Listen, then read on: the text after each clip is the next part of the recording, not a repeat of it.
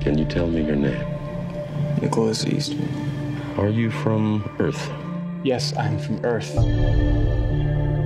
What I'm about to tell you, Nick, you may find a bit disturbing. Due to circumstances surrounding your condition, I'm afraid that our information is extremely limited. What do you mean, my condition? Wait, what's my condition?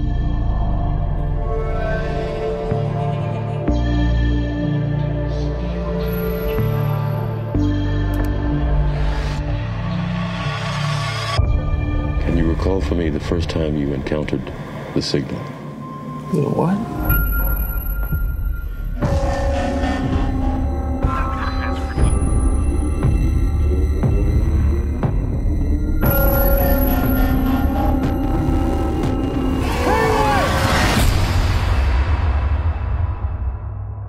We're not 100% certain about what we're dealing with here.